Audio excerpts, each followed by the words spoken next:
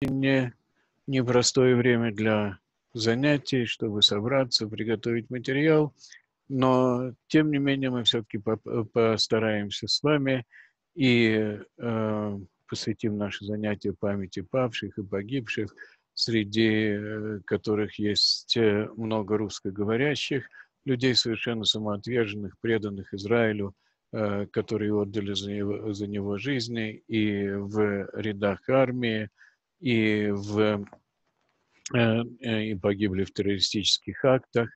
И среди них очень много людей творческих, которые могли бы принести очень много пользы духовной э, Израилю, и, к сожалению, они ушли из, э, ушли из жизни. И э, тут нужно представлять, что, как правило, остаются, э, как правило, остаются семьи, или у большого числа из них остаются семьи, продолжают расти дети, они продолжают путь э, Э, путь отцов, путь э, родителей.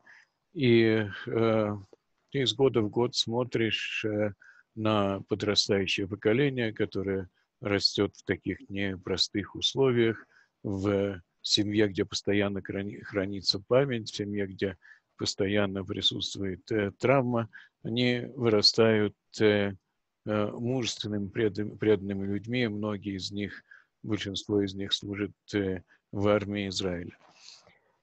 Э, то, что я хочу сказать э, в скобках, э, одна из болезненных проблем религиозного мира – это служба в армии. В основном харидимные круги не служат в армии. Должен сказать, что на это нет никаких галактических оснований. Можно можно говорить, э, смотреть с той стороны или с этой стороны. Можно говорить, что раввины, раввины против, и действительно раввины э, далеко не поощряют э, службу в армии. Мы знаем э, прецеденты, э, когда в религиозных общинах редимных э, отталкивают людей, которые и те единицы из них, которые из Ишивы идут служить Э, служить в армии.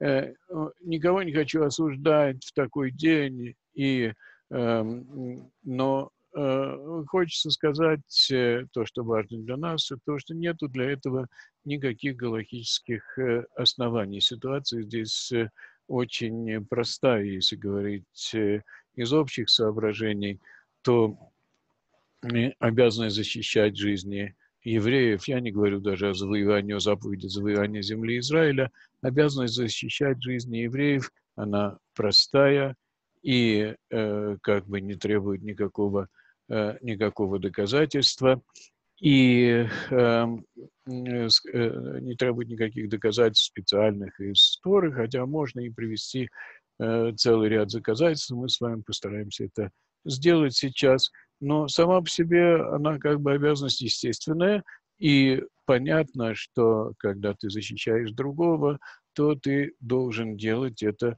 самым эффективным образом. И нет другого эффективного образа для э, Израиля, кроме как э, служба в армии.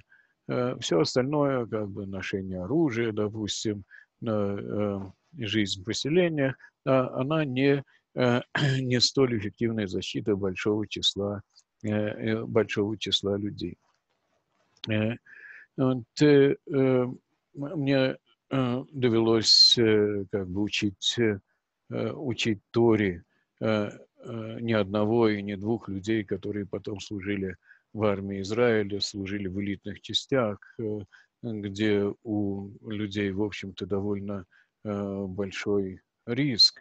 Э, скажем, мои дети не являются исключением. Ряд, ряд из них служил в самых элитных частях ударных, которые постоянно ведут, постоянно, каждый день ведут войну с терроризмом и с окружающими, э, с окружающими нас э, врагами.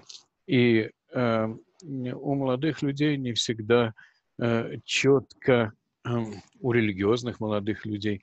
Не всегда я говорю о другом круге сейчас, я думаю, что многим это понятно. Я говорю о круге э, национально-религиозного лагеря, так сказать. Да?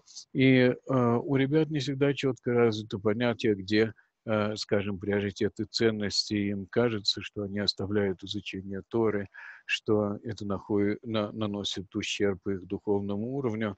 Э, я всегда им говорил простую Э, простую вещь, что представьте себе, что вы, может быть, и э, пропускаете изучение, э, изучение Торы, откладываете его на год или на два, иногда и на больше.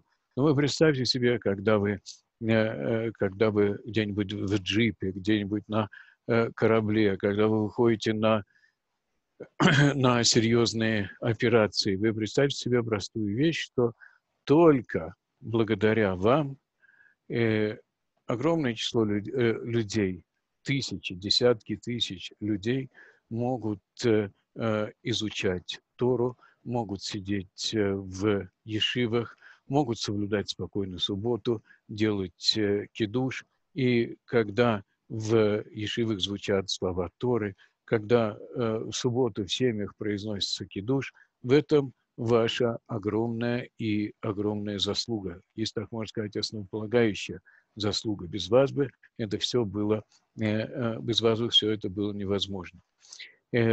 Нужно сказать, как бы со своей стороны, как бы, да, говорить что-то человеку, который служит в армии или который готовится в армии, это большая ответственность от э, того, как ты э, его настраиваешь, молодого человека, идеалиста, э, очень много, очень много зависит. И я всегда как бы с содроганием произношу слова, когда я знаю, что передо мной ребята, которые служат в армии или которые готовятся к службе в армии. И я также и Э, воспринимаю, естественно, и себя, что благодаря им и благодаря многим-многим людям, а может быть и э, э, многим людям на протяжении многих поколений, которые самоотверженно боролись и за Тору, и за традицию, и за землю Израиля, и отдавали свою жизнь, только благодаря им. Я нахожусь в земле Израиля – живу в месте, откуда я могу каждый день посмотреть на э, храмовую, э, на храмовую гору и постоянно помню о всех тех, кто отдал свою жизнь за то, чтобы мы э, жили на, за то, чтобы мы жили на своей земле. Можно еще, конечно, э, долго говорить и долго рассказывать. Э, это как бы кусок жизни большой службы в армии, борьба с терроризмом, жизнь на поселениях, те люди и товарищи, которые, к великому сожалению, погибли в террористических актах. Вот, э, но как бы можно здесь э, остановиться и попробовать перейти к нашим, э, к нашим темам.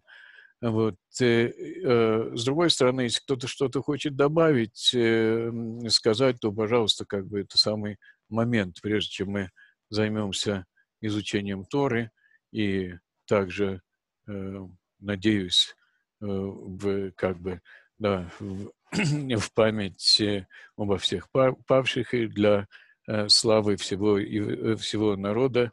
Вот если кто-то хочет что-то добавить, пожалуйста. Ну. Окей.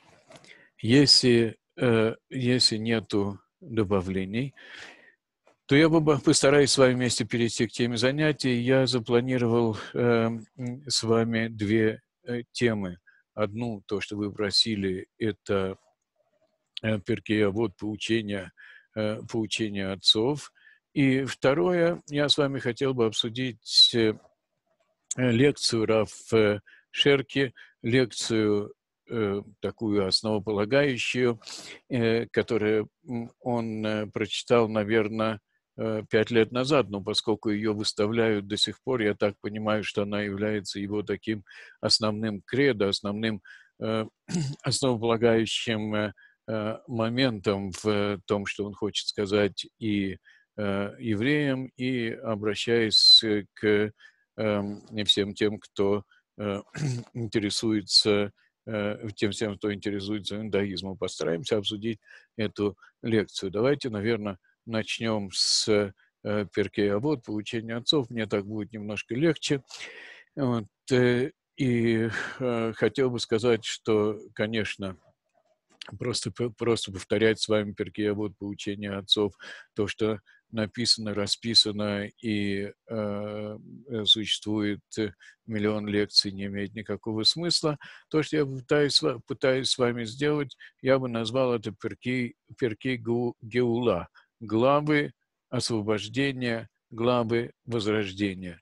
Понятно, что на вещи можно посмотреть по-разному, но мне кажется, что э, я бы так сказал, что все-таки единственно правильный э, взгляд на вещи, э, то, что он может нас куда-то продвинуть, и то, что на, может нам дать э, настоящие основы, это взгляд в таком в историческом, историческом плане, в, плане понимания, плане понимания эпох, проблем, э, проблем народа.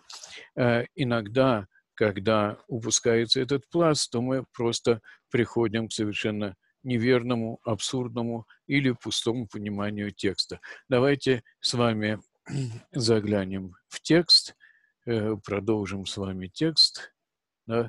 Вот мы сейчас попросим Натана открыть нам Э, э, доступ к демонстрации экрана. Если, если нет, если Натан нас не слышит. Есть, есть, есть. Да, спасибо. Спасибо большое. Значит, никакие дополнительные действия не нужны.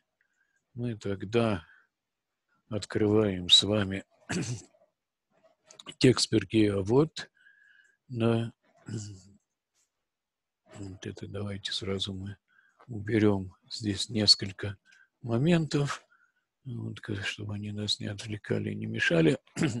да, и э, я напомню вам выводы первого нашего занятия, что Перкей а вот поучения отцов, они направлены на то, чтобы э, описать э, проблемы всего народа и э, как бы наметить э, путь его движение к будущему освобождению. В этом плане это и есть главы э, освобождения.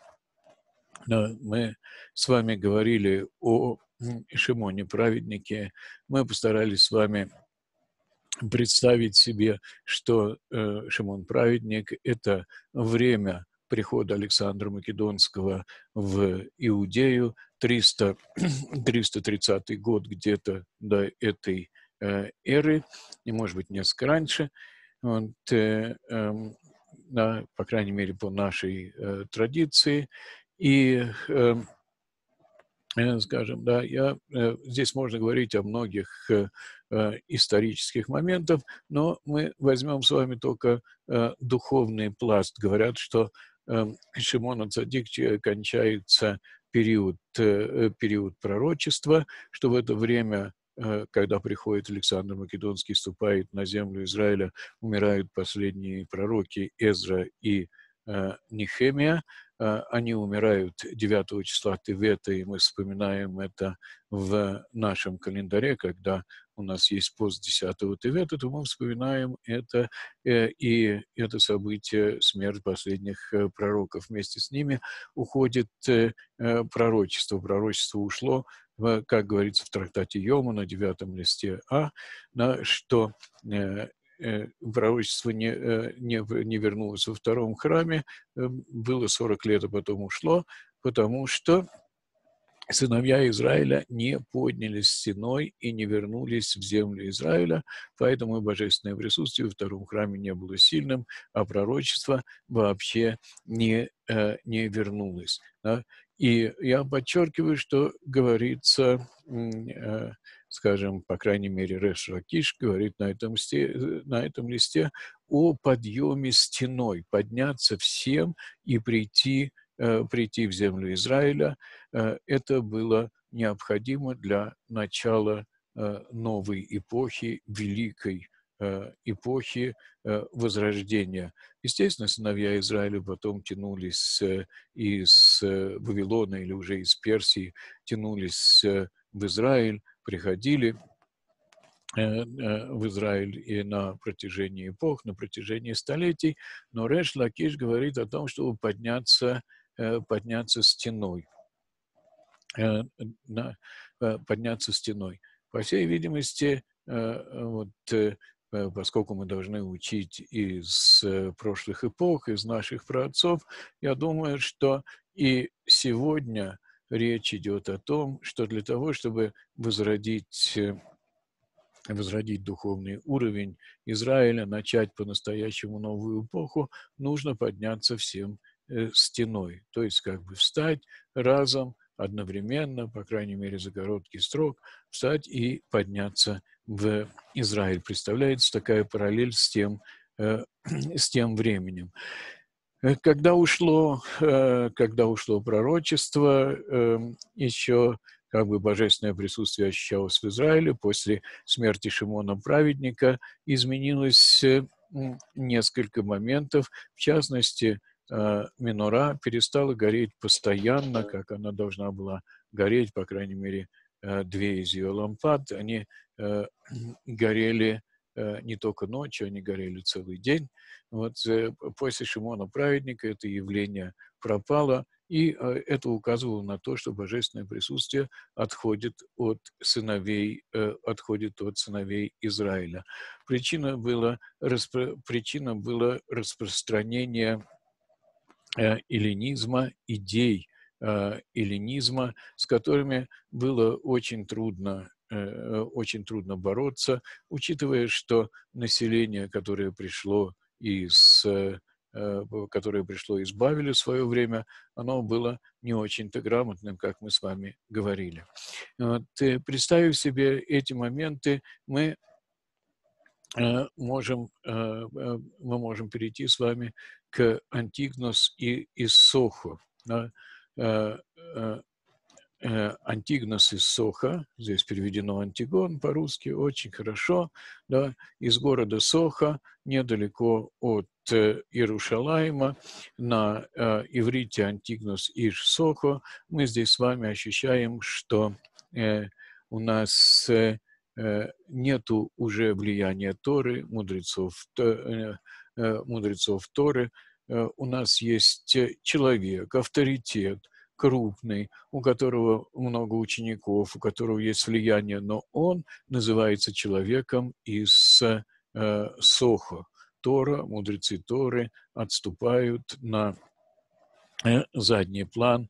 Первосвященники после Шимона Праведника, они э, не отличаются, мягко говоря, большой, э, большой праведностью. И время э, Антигнуса и это время распространения время распространения эллинизма. Мы можем представить себе, что в его время как раз происходит перевод Торы на э, греческий э, язык. Известный Септуагинта, перевод 70 толковников, когда собираются, э, когда Птолемей II собирает э, 70, э, э, собирает 70 мудрецов в, э, в Александрии и поручает им перевести Тору, причем каждого помещает в отдельное помещение, но в результате происходит чудо, и они переводят Тору одинаково, даже допуская специальные как бы ошибки, чтобы э, не дать возможности идолопоклонникам э, ошибочно представлять, будто Тора при, позволяет э, э, такое толкование, что э, есть несколько богов, есть несколько сил, есть несколько божественных проявлений, то есть э, навязать как бы свои представления э, положить свои представления на текст Торы, и э, текст Торы был несколько изменен. И в этом плане, вместо того, чтобы, например, как э, рассказывается в, э, как рассказывает э, нам Гемара, вместо того, чтобы перевести Берешит Бара, Берешит Бара Элоким, да, вначале сотворил Всесильный, да, мудрецы сделали так на греческом, да, всесильный вначале сотворил, чтобы ни у кого не, не возникло предположений, которые бы он основал потом на тексте, что до Бога есть какое-то начало, да, как полагали, как полагали э, греки, философы, как полагал Аристотель, что материя, она и материя, она изначально. Да, и поэтому сказать, что если в начале сотворил Бог, то может создаться такое впечатление, что, если, конечно, есть желание такое, может создаться такое впечатление, что что-то предшествует, Богу, вполне ложится на теорию Аристотеля, на представление о мире Аристотеля, что э, материя, она э, извечна. Вот. И целый ряд таких ошибок э, э допустили мудрецы в этом переводе. Говорят, что на на три дня, э, э, когда был готов перевод, на три дня э, темнота покрыла Иерусалим, несмотря на то, что было сделано чудо Всевышним, что все 70 переводов совпадали друг с другом, тем не менее произошел такой угрожающий знак, темнота на, накрыла Иерусалим. Почему это важно? Это важно в том плане, что идея Птолемея II была сделать Тору сделать Тору эм, одной из книг, оторванной, естественно, от э, устной традиции, от э, пророк, от живого пророчества, да, а мы представляем с вами, что о Торе говорится, что из Циона выйдет Тора, и Слово Бога из Иерушалаема. Тора невозможно без, без постоянного как бы, без постоянного учения, без постоянного комментария, который тянется и от горы Синай, и тянется от э, пророков и Иерушалаем как э, э, центр пророчества для того, чтобы показать, что как бы, что э, э, этот отрыв недопустим. Именно Иерушалаем накрыла тьма на три, э, на три дня, показать, что как бы источник Торы, э, э, не, от которого нельзя ее оторвать, он э, закрылся. Вот. Это те события, которые происходят в, во времена Антигнаса и Соха. Да? И э, мы можем представить себе, да, говорят, что он учился вот у Шимона Праведника, принял у него Тору, да, и, вот, и мы можем представить себе, можем представить, сейчас я остановлюсь и дам возможность вам спросить, чтобы не было постоянного потока слов с моей стороны, сейчас немножко еще, да, вот, э, он говорит, не будьте как рабы, служащие господину с условием получить плату, но будьте как слуги, не ждущие награду, и будет э, трепет перед Всевышним э, на вас. Да? Почему Антигнус Ишсоха заговорил о любви, к, о бескорыстном служении? Он э, хотел что-то противопоставить э, основной, э, основной тенденции э, эллинизма. В эллинизме, в, высшем, в, в эллинизме, высшим силам, богам, им не служат просто так. Нет там понятия любви. И сами боги, как бы, они и не не предполагают, что их должны, э, должны любить. Они э, убивают, они воруют, они обманывают, прелюбодействуют сами боги, отражают все дурные наклонности, обожествленные человека, да, и там отсутствует, э, там отсутствует понятие любви. Точно так же и в жизни древнего мира понятие любви, оно не очень-то Э, присутствует между, между людьми. Да, не очень-то предполагается их жизнь, она такая же, как и их э, жизнь богов. Естественно, так и, и должно быть. Да. И, и самое, самое главное, понятие бескорыстного служения начинает, э, начинает исчезать. Тем более, да, что в э, древнем мире и среди э, на, в древнем мире существует такое понятие, которое очень сильно воздействует на сыновей Израиля, что божествам имеет смысл служить, если они помогают. Да? Если ты ему приносишь постоянно жертвы, и все, и он, он не помогает. Да? Ты выходишь на войну раз, другой, третий, ты ему приносишь жертвы или проигрываешь сражение. Да? Не, надо ему, не надо ему служить, это бесполезно. Бесполезно приносить жертвы таким, э, приносить жертвы таким божествам. Сыновья, э, сыновья Израиля, как мы с вами понимаем, да, если распространится такое представление в их среде, это это катастрофа. Да, мы понимаем, что сыновья Израиля были изгнаны со своей земли. Да, и если не, пони, не понимать глубоко Тору и не относиться ко Всевышнему с любовью, да, то э, постоянно будет вопрос, а почему мы были изгнаны, изгнаны со своей земли? Да? Э, Всевышний не смог нас защитить. Да? Вот, э, и точно так же и теперь сыновья Израиля находятся под властью одного народа, другого народа. Сейчас они находятся под властью э, Птолемеев, которые правят э, в э, Египте. Да. В скобках скажем, что Птолемей II, при, второй, при котором было, э, был осуществлен перевод Торы, где-то в 245 году до этой эры, э, Птолемей II, э, он Э, был таким ученым, исследователем да, по следам э, Александра Македонского и Аристотеля, которые стремились к знаниям. Э, Птолемейская система, Птолемейская модель Солнечной системы – это как раз Птолемей II. Он собирает в Александрии библиотеку, создает библиотеку. Это Э, которую потом мусульмане сжигают, это его, это его, э, скажем, рук дело, плоды его рук дела. Вместе с тем он угоняет э, пленных из Иерушалаема, десятки тысяч, и угоняет их в Египет. Это в скобках как бы, да. И вот теперь представим себе, сыновья Израиля находятся под чужой властью, они если пользоваться чужими представлениями, они ждут защиты от Всевышнего, он их не защищает. Да?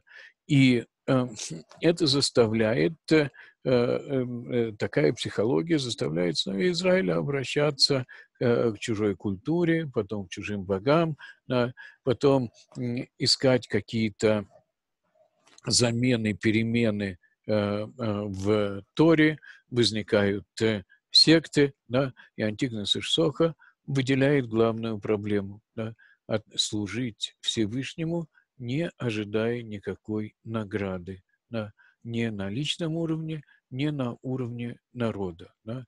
Мы служим Всевышнему, а там будь что, а там будь что будет, да, всегда ответственность наша.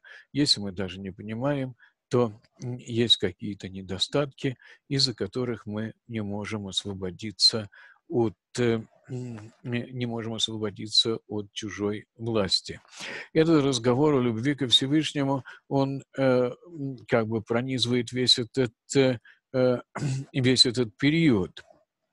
Да, э, Антигнус, э, Антигнус э, его время, может быть, несколько э, раньше – да, э, э, есть пророк Малахи, да, который пророк Малахи, которого ассоциирует с, Эзрой, то есть не обязательно считать его Эзрой, но, э, скажем, ассоциирует его с Эзрой. И если мы откроем с вами книгу, книгу Малахи пророка, то она вся говорит о том, что сыновья Израиля не понимают что такое служение Всевышнему. А, и Кагэны не понимают. Они ищут какой-то выгоды, они ищут какого-то э, какого-то результата. Да? И э, разговор о любви в, Мал... в книге Малахи начинается очень интересно. То есть люди уже не понимают, что такое любовь. Э, что такое любовь ко Всевышнему, наверное, и в отношениях друг с другом у них тоже понятие любви оно бескорыстности, оно несколько нивелировалось уже, да, и книга Мулахи начинается, как вы помните, с того, что э, Всевышний обращается через пророка к сыновьям Израиля и говорит, «Возлюбил я вас, э, возлюбил я вас, дом Якова, а вы сказали, чем ты любишь нас?» да? То есть, и вот это потрясающий момент совершенно, да? Как можно любить чем-то, да? Но пророк намекает на то, что, я, э, на то, что представление людей таково, что если уж ты нам любишь, ты нам должен обязательно что-то давать. Нету отношения просто э, в, вне, вне материи, вне материальных э, благ. Ты нам, ты нам должен что-то давать покажи нас, чем ты любишь, посмотри, в каком мы положении находимся э, тяжелым, мы находимся под чужой властью, ну, чем ты, чем ты нас э, любишь, да? Сказал я вам, дом Якова, возлюбил я вас, а вы сказали, чем ты нас любишь. Да? Вот. И потом в дальнейшем как бы Всевышний разговаривает со священниками, с кагенами и говорит им, да, а вы сделали вы сделали мой хлеб отвратительным, э, вы сделали мой хлеб отвратительным. А вы говорите, чем мы твой хлеб сделали отвратительным? Да? Посмотри, как бы служение в храме ведется по всем правилам. Да? И Всевышний говорит, чем отвратительным? Тем, что вы говорите, что э, бесполезно служение Всевышнему, то есть у вас служение превратилось в Э, ритуал, вы просто боитесь остановить, э, вы просто боитесь остановить служение в вы просто боитесь остановить служение в храме, да, вот, э, а, и продолжаете его по традиции из какой-то боязни, привычки, по многим другим причинам, как бы уже эта машина работает, но вы не верите в то, что служение в храме дает вам и Э, связь со Всевышним, и э, благословение, и, э, и благословение и вам, и вашим семьям, и вашим детям. Вы просто в, в это не верите, вы, вы потеряли эту способность служения Всевышнему по любви. В конце Антигнос Ишсоха добавляет, э, что должен быть и трепет перед Всевышним, любовь ко Всевышнему без трепета, она как бы не работает. Но понятно, что он говорит о любви и подчеркивает э, прежде всего этот э, момент любви. Можно сказать, заметить в скобках, что в несколько позже, может быть, в начале этой эры начинается в, так сказать, человеческом обществе интенсивный разговор о любви, о понятии любви. Да. Э, это и мы с вами помним и Гелеля, который сводит принцип «возлюби ближнего своего, как самого себя» к принципу «не делай ближнему того, э, того, что ты не желаешь себе». Мы можем вспомнить и Филона Александрийского, который живет примерно в это же время, в, во время Гелеля Э, старшего, который говорит, делай своему ближнему, что значит любить ближнего, это значит ему делать то, что э, ты хочешь э, для себя. Можно не обсуждать эти все философские принципы, но можно представить себе, что понятие, понятие любви, оно не такое, оно не такое простое, оно требует обсуждения. И здесь Антигнос Ишсоха, он как бы поставил палец на пульс, и он увидел основную проблему, проблему поколения. Люди не понимают, что такое любовь, и особенно они не понимают, что это бескорыстная любовь, и особенно они не понимают, что такое любовь ко Всевышнему. Говорят, что у Антигноса Иш Сохо у Антигноса Иш Сохо было э, два ученика, Цадок и Байтус, которые, э, э, э, которые не поняли его или не захотели понять его и поняли его, захотели его понять по-своему, и они сказали, если учитель говорит о том, что нет награды, э, э, э, что если учитель говорит о том, что нужно служить без награды, значит награды вообще нету. И отсюда они сделали такой вывод, что нету, нету будущего мира. Ну, в этом мире мы видим, что далеко не всегда служащий э, служащий Всевышнему получает награду. Но если э, Антигнус Шерсоха говорит, что нужно вообще служить без ожидания награды, значит, нету, э, нету будущего мира. Из Цадока и Байтуса возникли Цадукеи и Байтусеи, две секты, которые имели впоследствии сильнейшее сильнейшее влияние в, в Израиле, особенно Цадок, и в конечном итоге можно сказать, что э, привели к, э, привели к э, разрушению э, к разрушению храма. Да, секта Цадукеев, ее идеи, ее, э, ее влияние, они стали такой основной э, скажем, идеологической причиной или причиной на уровне идеологии разрушения, э, разрушения второго, второго храма. Это Антигнос Соха и проблемы, э, проблемы э, времени. И Безусловно, если переносить э, на наше время, так как мы с вами пытаемся это э, делать, то здесь нужно извлечь большой, колоссальный урок из того, что говорит э, Антигнус Соха. Это не одно, да, и причем желательно смотреть на перке, а вот не как на э, поучение в личном плане, это, в общем-то, распространенная ошибка, или, может быть, не ошибка, а колоссальная недоработка, что люди переносят это на свою жизнь, переносят на личный план. Вот как я буду служить, э, как я буду служить Всевышнему. Это правильно, да, но это только небольшая часть и небольшая крупица. Здесь речь идет обо, все, обо всем обо всем народе. И Антихна Шерсоха призывает и наше поколение. Он э, э, говорит, да, безусловно, наше поколение э, находится в э, наше поколение находится в трудном э, положении. Да? Э, и вместе, вместе с тем, что происходит положительного, в нашей стране происходит много отрицательных моментов. Вместе, вместе с теми победами, которые, будем надеяться, мы как народ э, одерживаем с вами, да, есть и целый ряд и поражений, и отступлений назад, есть очень, э, э, очень, очень обидные, э, обидные, досадные моменты, такие как договоры, э, договоры Осло, э, эм, э, изгна... А, отдача, отдача Синая, эм, отступление из территории Гуш, Гуш-Катив. Многие, многие, многие люди начинают, начинают терять начинают терять веру в том плане, что они отступают от Эм, идеи, э, э, идеи то, что мы живем в эпоху возвращения, мы живем в эпоху завоевания земли э, Израиля, да, и они говорят, что да, ну, раз такое тяжелое положение, мы вернемся психологически, мы вернемся в Галут, в э, изгнание, да, и э,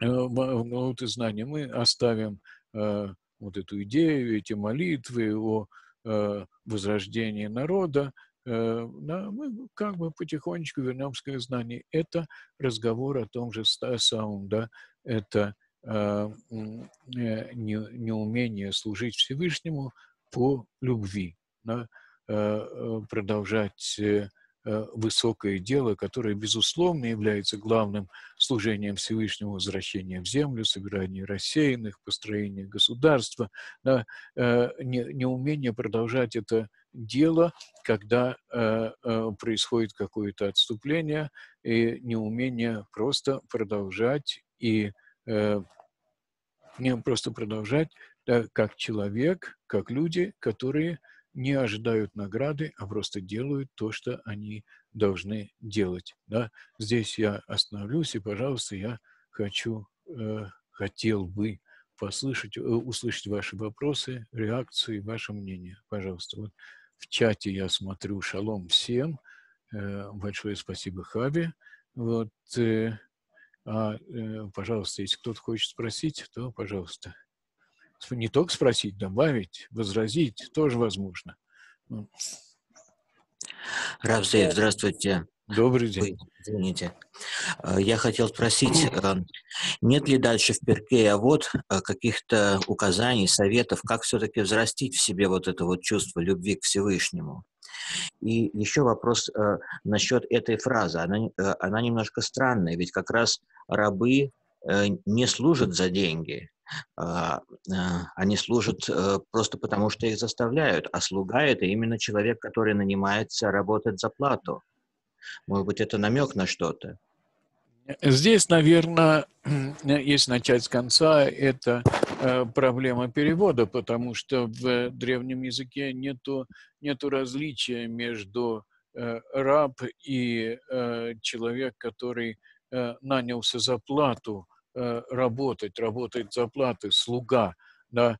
Может быть, иногда есть увед, сахир, но это, это скорее даже не Э, то есть далеко не всегда. Увед э, это может быть э, и эвед, и, или увед, это может быть и раб, это может быть слуга. Да?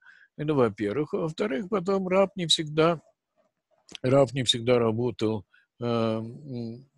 скажем, совсем даром, бесплатно, и уж понятное дело, что, что Э, даже раб получал э, э, самое элементарное, самое элементарное содержание, и потом раб мог быть большим специалистом в чем-то, да, и получать хорошую зарплату, да, скажем, он мог обрабатывать драгоценные камни и получать от э, хозяина хорошую зарплату. Все это могло быть, самые разные ситуации. То есть мы представляем себе, когда мы слышим слово «раб», то мы представляем себе египетское рабство, строительство пирамид, перетаскивание э, камней, э, тяжелых камней за даром, под ударами бича.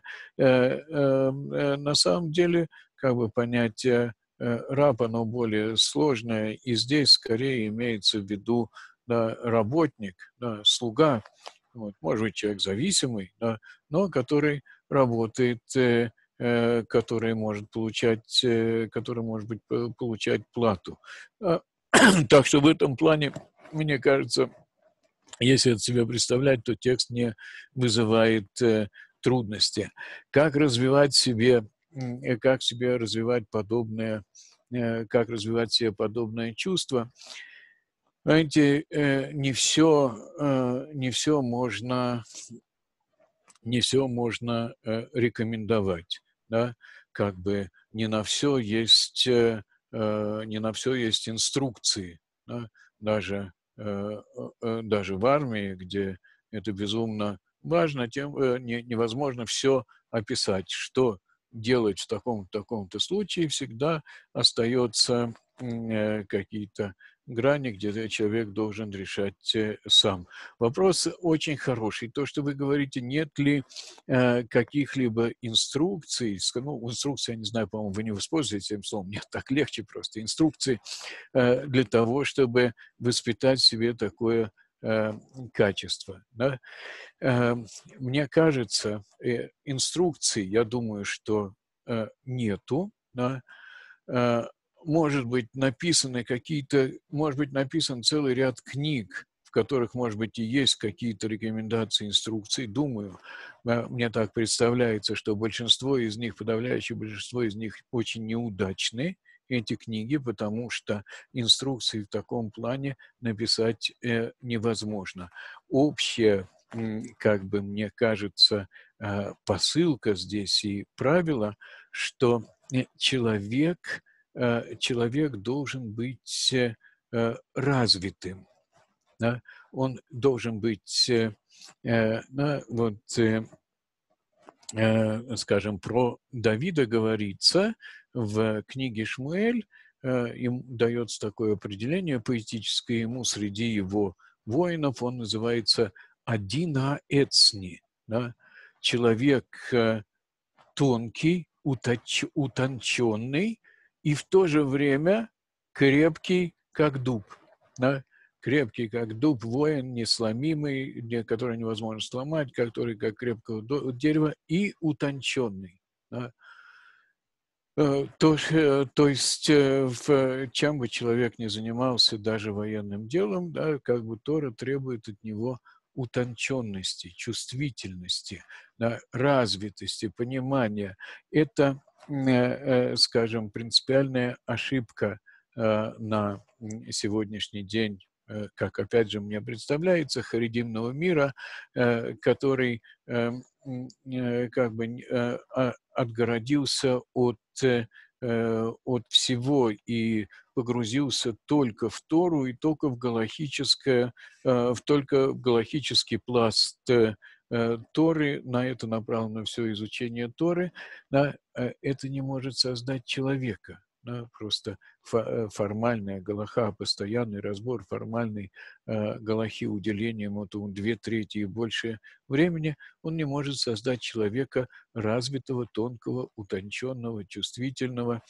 Э, э, э, Рав Кук, его постоянное как бы такое э, постоянное наставление, его учение, да, что э, божественное божественное проявление есть повсюду, где есть, э, где есть мораль, где есть человеческая мысль, включая, э, включая науку, включая творчество, везде есть божественное, везде есть божественное проявление, и задача человека как бы найти вот этот пласт божественный во всем, что его окружает, и развить его, и развить его и э, развить его и приподнять. Да? И поэтому как бы э, мне кажется, да, что человек должен быть э, развитым, иметь, возможно, и на основе, возможно, и на основе литературы, возможно, и на основе философии, то есть не обязательно брать, и даже не нужно брать все как бы как как есть, да, но э, размышления, э, чтение литературы э, художественной и и уж, как бы, может быть, здесь надо сказать, Леавдиль, разделить изучение пророков подробное, да, это, конечно, развивает человека, делает его, учит его сопереживать другому и обязательно учит его понятию, обязательно учит его понятию любви, да, раскрывает для него понятие, э, понятие любви. Да. Если в конечном итоге, да, е, э, если человек не вынимает э, что, то, что говорит, э, э, то, что э, говорят наши мудрецы, лот луя бы давал, любовь, которая не зависит ни, от чего, она просто есть любовь, она не зависит ни от чего материального. Если человек э, это не может понять, то что, ему не, невозможно это объяснить. Да? Для, того, чтобы, э, для того, чтобы соотноситься с Торой и со всем нашим материалом нужно быть человеком, только человек может понимать. Да? Поэтому и говорится в том же перке, а вот куда мы с вами дойдем, что «Дери херец кадмали тура», да? моральный пласт, да, а я бы сказал вообще просто общее развитие человека, оно предшествует, оно предшествует Торе. Здесь есть некоторый такой парадоксальный момент, что как бы только Тора может сформировать настоящую мораль и может сформировать настоящего человека. С другой стороны, э, если нету человека, он не может воспринять Тору, этот парадокс, он постоянно происходит, и здесь Всевышний помогает как-то из него, э, э, из него выбраться, что раньше, курица или яйцо, Всевышний, здесь есть помощь Всевышнего, но нельзя оставлять, э, нельзя оставлять ни тот, ни другой пласт, да, общее развитие человека и изучение Торы, они не могут идти, идти отдельно друг, друг от друга не говоря уже о том, что э, э, в наше время, когда мы говорим об э, стремлении к объединению народу, как говорят религиозные люди, возвращение к чуве всего народа, очень хорошо, это можно обсудить, там, возвращение всего народа к традиции, к религии, пожалуйста, можно обсудить – да, но это никогда не произойдет, пока мы не создадим, пока мы не создадим религиозную культуру, настоящую, да, и религиозную художественную литературу. И эта работа идет, безусловно, она есть. Да. Вот, и, и без этого мы не сможем обратиться и не, не, э, к своим Э, к своим собратьям, не то, чтобы возвратить их к шуве, а просто начать с ними диалог какой-то, это совершенно невозможно. Да? Поэтому вот, э, тот вопрос, который вы, вы задали, он очень-очень как бы, э, мне кажется, принципиальный. А если дальше какое-то описание, как достичь этого свойства? Да? Ответ нет. Да? Человек это должен, человек должен понять, о чем идет речь, да, и э, должен быть способен это выработать, э, выработать сам каким-то образом. Да. И, по моему скромному мнению, еще раз, все чтение книг «Мусар», как нужно себя вести, и что так далее, и что, как нужно себя вести, как нужно развивать в себе то или иное свойство, и как нужно поститься, и как нужно э, соблюдать э, э пост молчания, когда человек не говорит там, э, как э, в монастырях буддийских, все это, на мой взгляд, совершенно бесполезно. Бесполезно. Только э, э, глубокая, э, глубокая работа, э, скажем, естественная, которую каждый человек ведет, да, познание, познание мира, э, соотношение с искусством, э, это может, э, это может развить человека. Понимаете? Да? Вот, э, окей. Рамзеев, добрый день. Пожалуйста, да.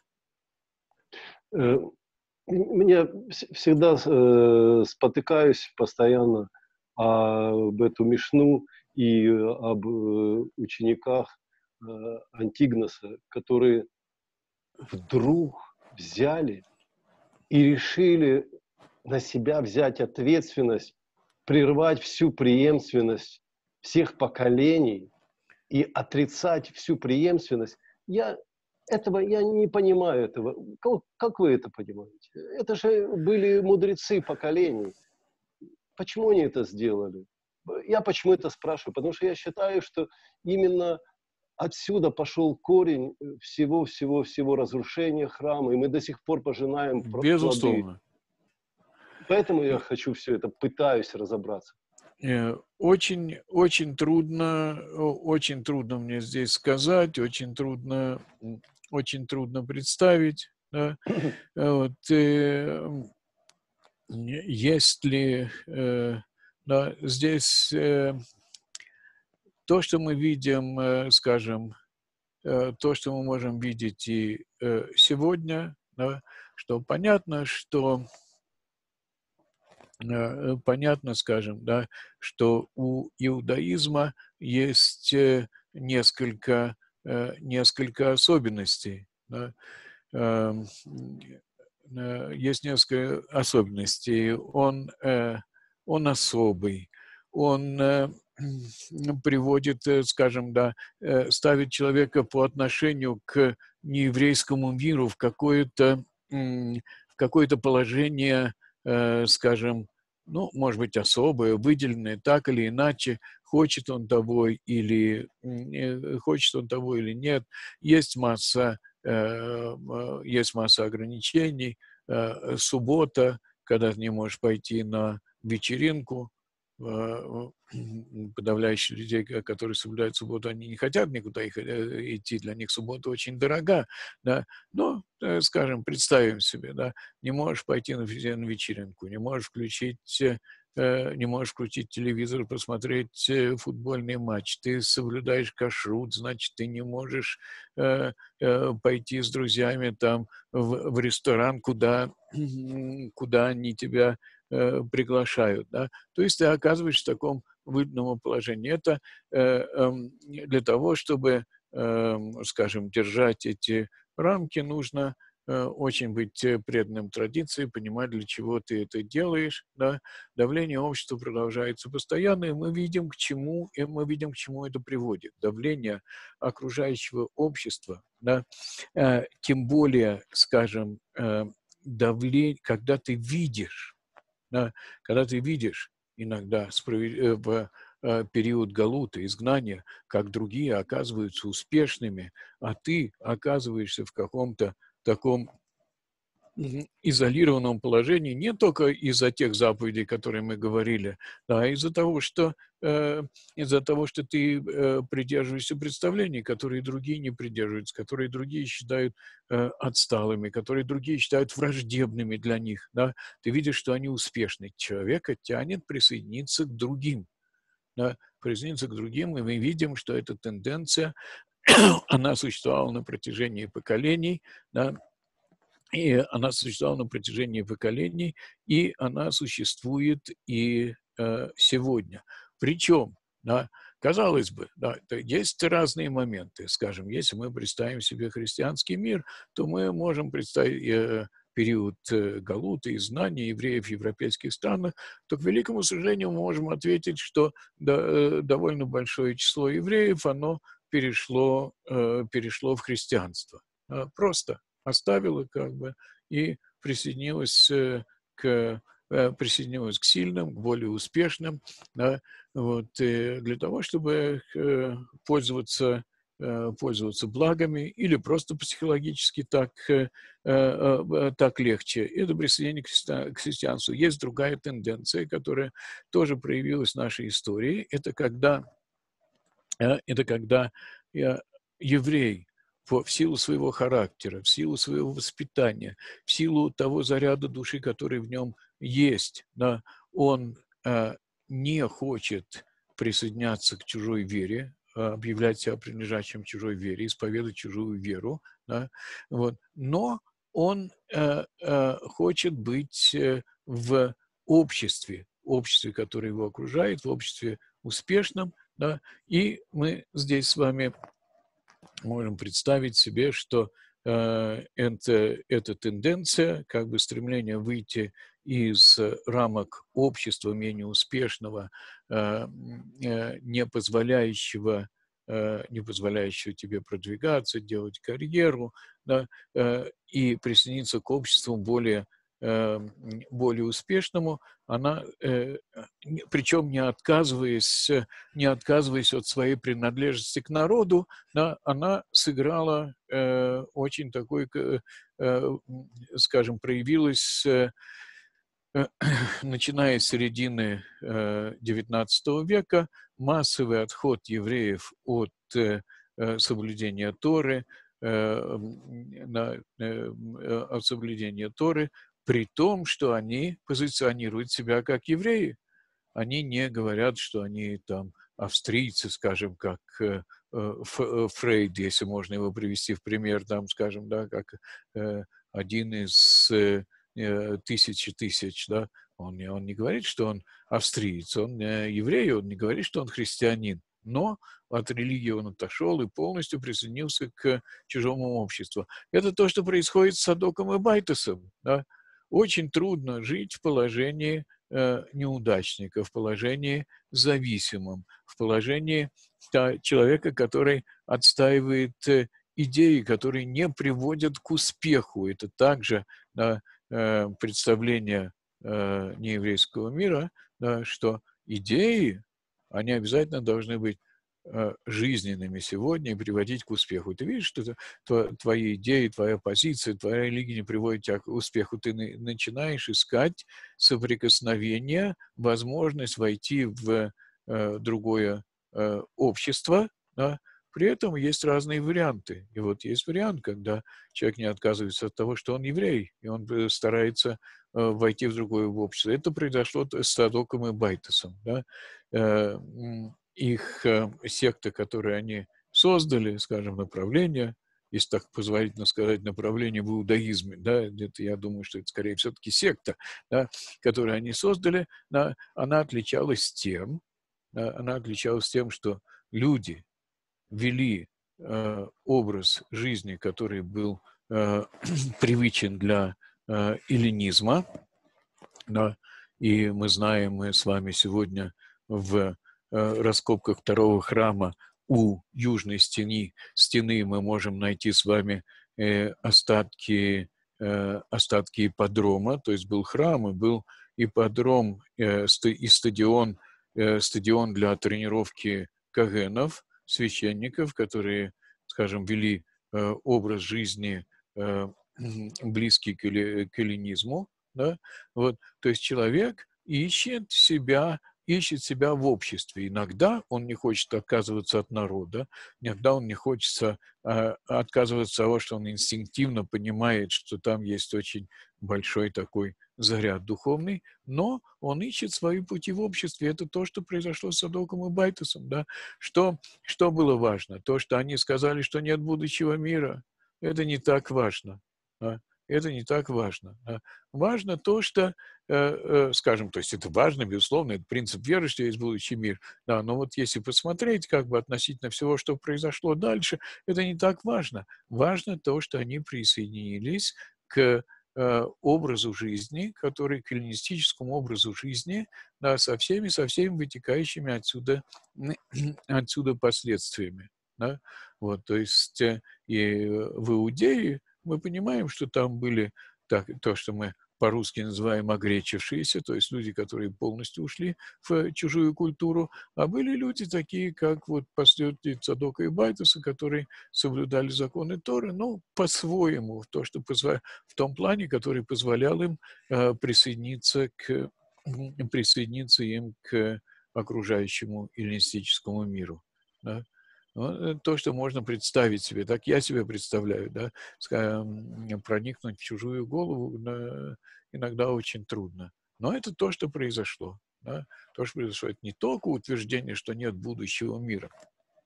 Здесь, э, э, э здесь нужно представить себе, что в то же, в то же время жил Эпикур, да, философ, который утверждал, что нету, нету будущего мира.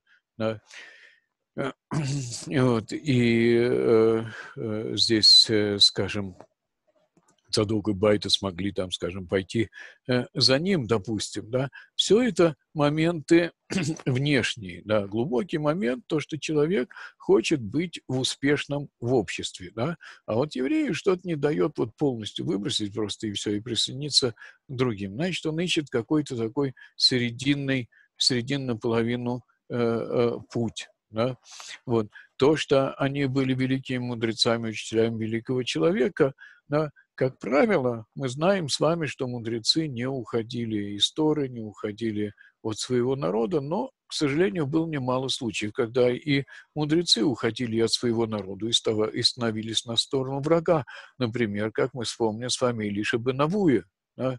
Лишь Бенавуя, человек очень интересный, да, сам по себе, великий мудрец Торы, который Э, и мы понимаем, что это несколько позже, да, в времена Раби Акива, э, да, вот, Илиша Бенавуи не только э, ушел от идей Торы, но он присоединился и к римлянам. Он присоединился к врагу, присоединился к римлянам. Да? Вот. Так что здесь не только момент религиозный, но и момент э, э, такого плана, что, как э, в шутку говоря, человек – животное общественное. Да? естественно, он хочет быть в обществе, он хочет быть успешным. И здесь э, э, э, в жертву, к сожалению, приносятся вещи важные и э, принципиальные. Спасибо. Да. Равзев, добрый вечер. Добрый вечер, Матан, да. Хотел добавить, что можно упомянуть еще вот то, что вы упомянули, примеры отхода и так далее, Иосифа Флавия, правильно?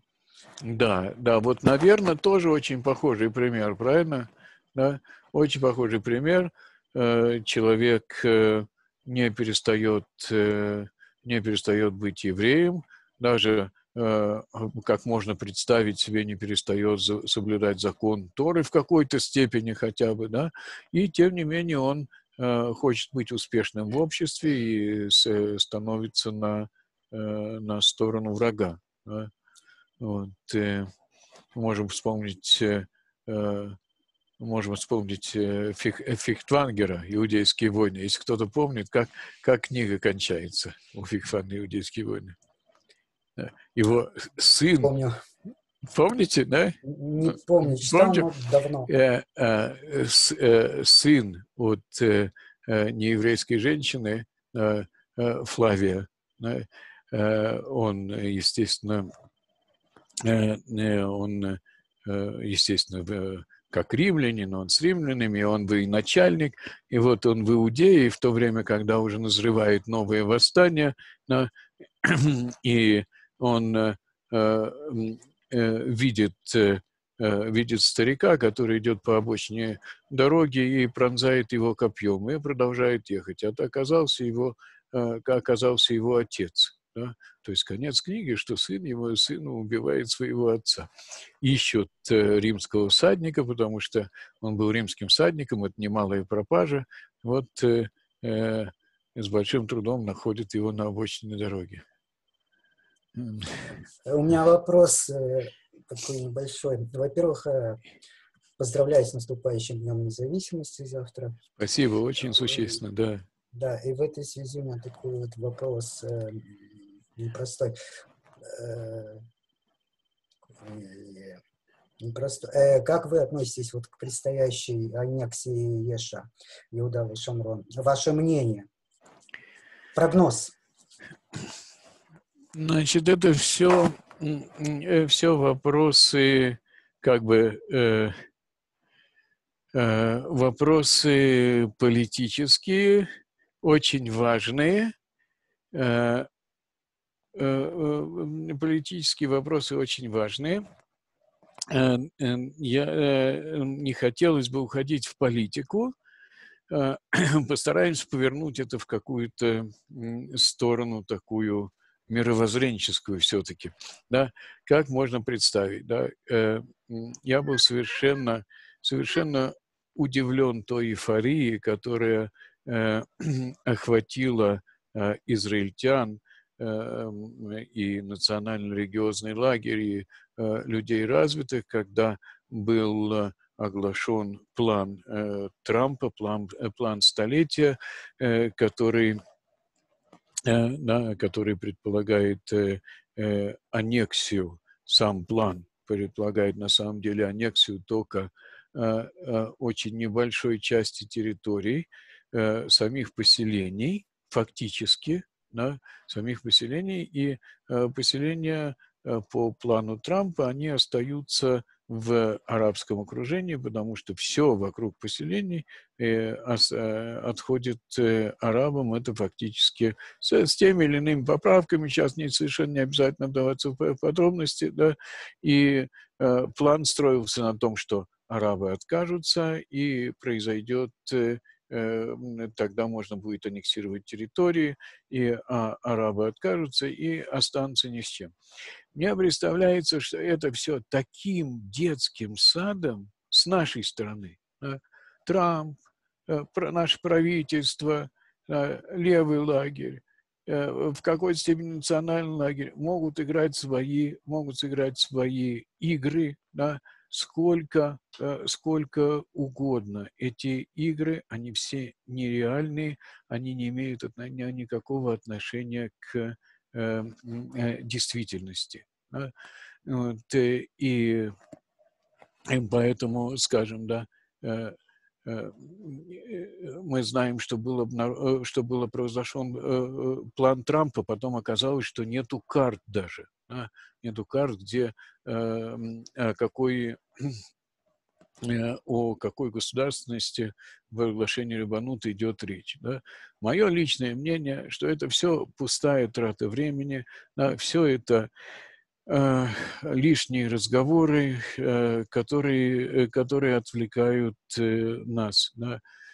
Я вижу, да, Э, единственный выход из э, создавшегося положения. Да, эм, также он, скажем, э, с точки зрения осуществим он, неосуществим. Да, я вижу единственный выход – это массовая алия. Да. В свое время, когда у Шамира, который не хотел ехать, как вы помните, на мадридские переговоры но его спрашивали, ну, вы не хотите договариваться с арабами, вы не хотите отдавать им территории, а что, вы, а что дальше-то будет? Он говорит, мы привезем 10 миллионов евреев. Это слова Шамира. Да? Я не знаю, прав он, не прав, я не знаю его политику, но иногда бывают высказывания, которые они как бы просветляют голову. Привези сюда 10 миллионов евреев, и все проблемы решатся. С рибанутом, не рибанутом, с, эм, э, э, с устойчивостью Израиля, с политикой, всем, чем хочешь. А, кроме того, я как бы как э, религиозный человек, да, я верю, можно сказать, знаю, что с возвращением сюда евреев, да, любого толка, любого плана, любого характера, с возвращением сюда еврейских душ, да, по мере возвращения сюда еврейских душ будет возвращаться божественное присутствие. Будет возвращаться пророчество. А пророчество – это не только то, что кто-то встанет и предскажет, что вот сейчас мы что-то сделаем, да, или э, что нам нужно что-то делать, или что завтра будет. Да. Пророчество – это просветление мозгов, это другое видение мира, другое видение мира, видение его с духовной точки зрения. Поэтому мне э, кажется, что, да, что все, все эти игры, они, э, они ни, ни к чему не приведут. Э, да, кроме того, да, скажем, религиозный человек, он должен был бы смотреть с какой-то религиозной точки зрения, да, и он бы должен был знать, что есть принципы Торы. Да?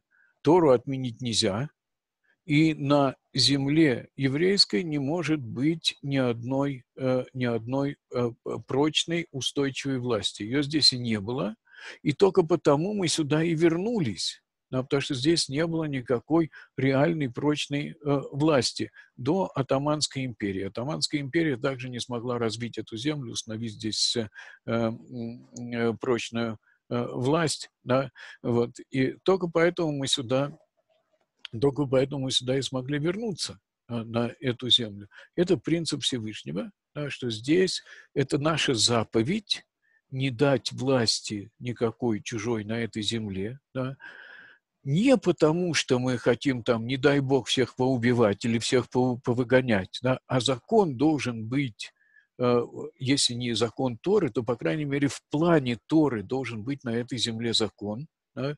Это наша задача в этом мире – утверждать закон высоко моральный, основанный на Торе, да, вот, и прежде всего э, на этой территории. Если мы не сможем его утверждать на этой территории, то как же мы сможем его Э, как же мы тогда сможем говорить обо все, об этом во всем мире?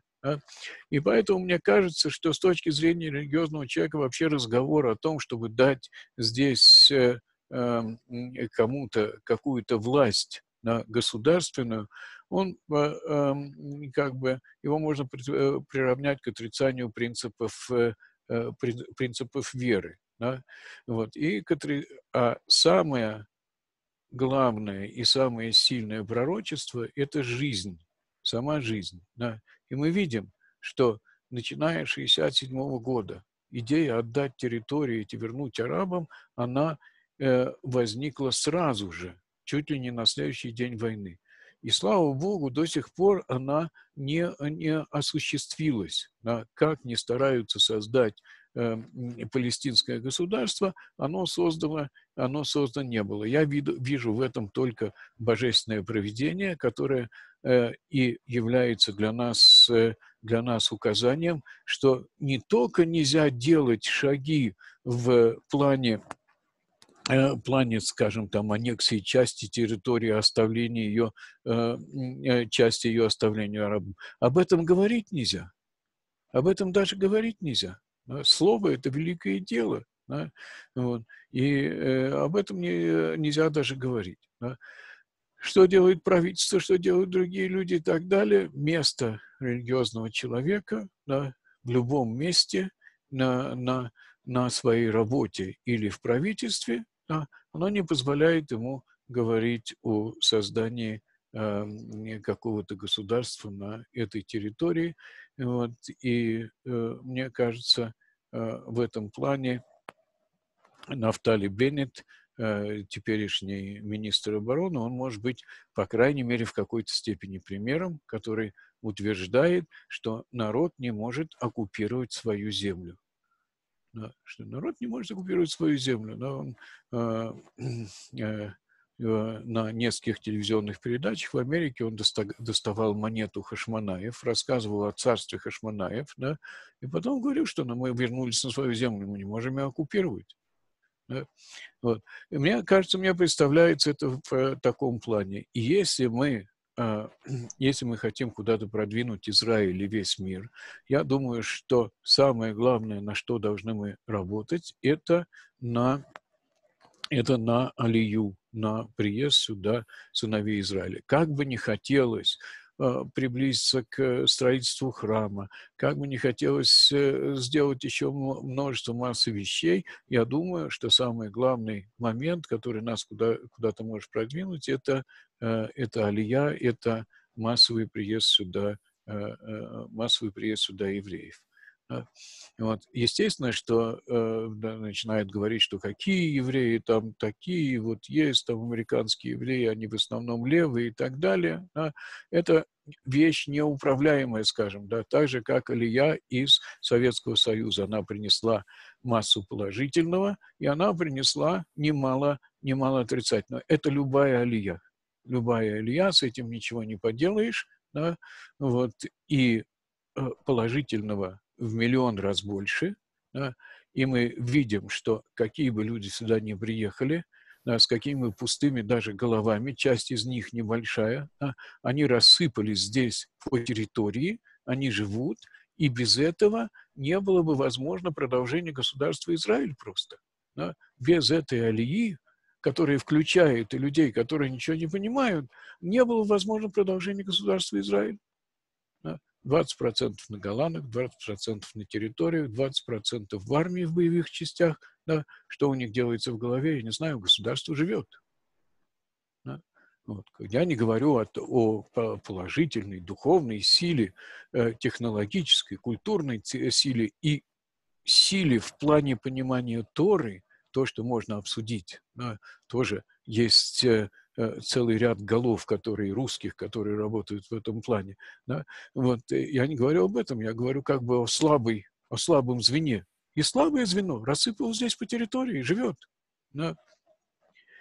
Вот, э, э, так что мне кажется, что и также Алия из Америки, какая бы она ни была, да, то, что я вижу вокруг себя, да, что американские евреи, которые приезжают, они очень Э, э, национально настроены, очень, да, вот, и, э, скажем, да, это то, что я могу видеть вокруг себя. Вот, э, э, да. вот.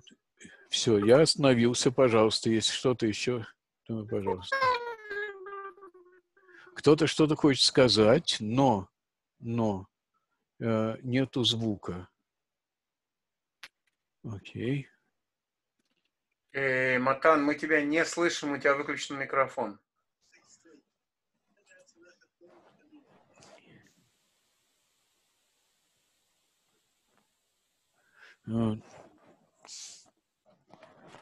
Окей.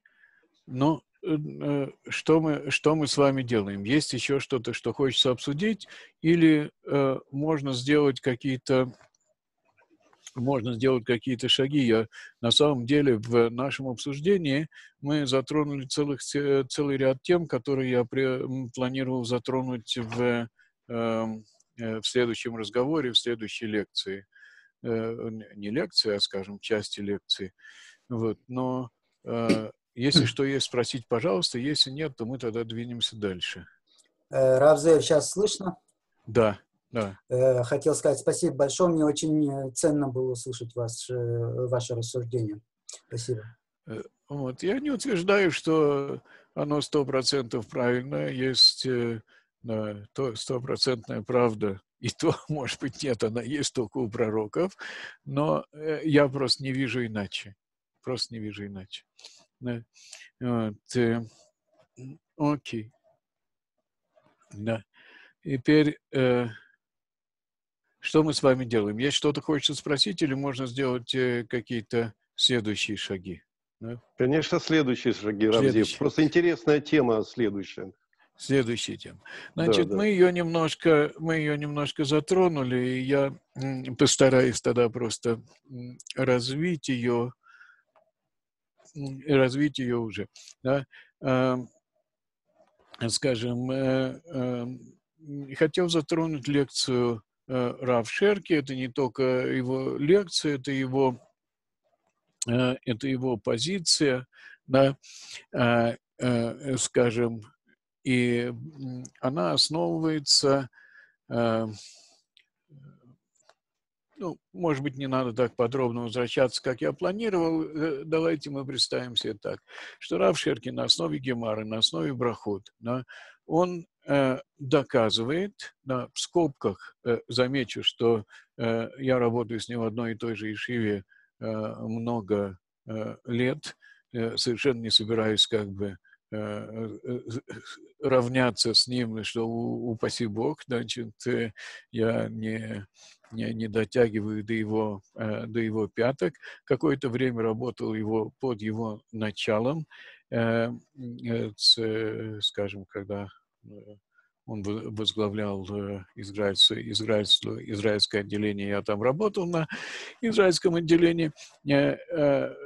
Э, самые приятные ощущения. Человек удивительный, удивительных знаний, удивительных эрудиций, э, подпадает, э, скажем, под, то, под ту теорию, которую я вам попытался высказать насчет общего развития человека, насчет общего развития. Человек знает все наши источники наизусть, просто он цитирует. Вот, и кроме памяти, безусловно, есть потрясающие аналитические, э, э, аналитические способности, э, смелость, честность. Да, он занимает совершенно не, скажем, необычную позицию, можем сказать, гораздо более острую, чем многие-многие его, многие его коллеги. Да. И, скажем, да, вот, это то, что, то, что касается общих знаний, я тоже совершенно потрясен. Он может цитировать и не наши источники, он может цитировать наизусть. У него есть интереснейший взгляд и относительно литературных произведений. Я думал, как-то я полагал при себе, мне не было, не было удобно его спросить, э, полагал, что он не совсем представляет себе развитие научной мысли. И тут Э, в нескольких лекциях я вижу, что он прекрасно владеет и этим материалом, он представляет себе и э, э, не только развитие философии, скажем, представляет себе и развитие научной мысли. Вот. И в этом плане, скажем, как бы, да, это пример Э, э, пример человека, который безгранично преданного Торе, глубочайшим образом понимающего Тору, и тем не менее вот, э, человека, которого есть общее развитие, общее развитие, которое, я думаю, что очень много дает его душе, уж я так полагаю, да, и очень сильно его развивает. Да? Это как бы мое введение, отношение к человеку предельно, э, предельно уважительное, да, вот, э, и э, ни в коем случае я не собираюсь критиковать, не, не дай бог, а просто как бы хотелось бы какие-то моменты дополнить, может быть, и посмотреть несколько, несколько по другим углом, чем он дает в общей лекции. Да? И так, возвращаясь э, к теме, да, Рав Шерки говорит о том, что мы находимся не только в начале периода освобождения, даже не находимся в, периоде, в, период, э, в начале периода освобождения, а мы находимся в такой продвинутой стадии э, освобождения. Что, э, что это э, значит, как бы, что это обозначает, что это за э, этапы освобождения. Здесь Рав Шерки, э, секунду, да, вот, э, постараюсь поднять те заметки, которые я приготовил. Сейчас попробуем. Да. Э, Рав Шерки от, отталкивается от э, трех имен, которые есть у народа Израиля, да, это Яков, Израиль и Ишурун. Да, вот, и объясняет их примерно так, э, скажем, да, стараясь быть близким близким к автору. Если есть какие-то неточности, заранее приношу извинения. Надеюсь, что нет. Яков от слова кривизна, да, лаков, как бы обойти, объехать, идти по прямому пути, по, по кривому пути. И Яков э, ассоциируется с словом кривизна, да, э, как Рав Шерки объясняет, э, определенная замкнутость, которая определенная замкнутость, замкнутость в э, сфере такой личной, если можно сказать, э, религиозности, представлений о мире с такой более замкнутой личной или э, общинной э, позиции, и она соответствует, э, соответствует Галуту, говоря схематично, да, не, скажем, э, не обязательно, может быть, всегда и так везде в Торе, э, но, говоря схематично, скажем, Яков соответствует вот такому галутному, замкнутому, э, замкнутому представлению Э, скажем, и Рав Шерки соотносит это с религиозной идеей. Опять же, я говорю, что то есть чисто просто религиозная идея и ничего больше. Нужно здесь подчеркнуть, скажем, что религиозная идея в таком несколько ограниченном плане соблюдения личных э, заповедей. Да? Это Яков, это сыновья Израиля в Галуте, в изгнании, это скажем, религиозная мысль в изгнании. Да? Дальше есть э, следующий этап, это э, Израиль. Да? Само по себе слово Израиль, имя, оно от прямота, как мы помним, Ишар. Здесь же слышится и э, э, сарита, да, боролся. Здесь же слышится и борьба, да, и здесь же слышится и власть, сар. Да. То есть, э, эм, по утверждению Равшерки, это имя, э, э, скажем, соотносится со следующим этапом развития, с выходом из Галута, с, вы, с уходом от, эм, скажем, узких, узкорелигиозных представлений, которые концентрируются только на частных э, заповедей, имеющих отношение к личному человеку или к общине. Да? И э, здесь э, имя Израиль указывает на, э, на национальную идею, да? то есть э, э власть. Да? Это не, не, не обязательно власть над другими народами, даже совершенно не власть над другими народами, это обретение собственной власти, обретение свободы, освобождение от чужой, э, от чужой власти. Да? А, а, прямота в прямота в противовес кривизне и замкнутости, да, Э, прямота, здесь можно сказать широта, работа на расширение, на расширение э, э, представлений и, естественно, постоянная борьба, постоянная борьба за, скажем, за свое за свое, если так можно сказать, место под солнцем, не только в физическом плане, но и в идеологическом плане.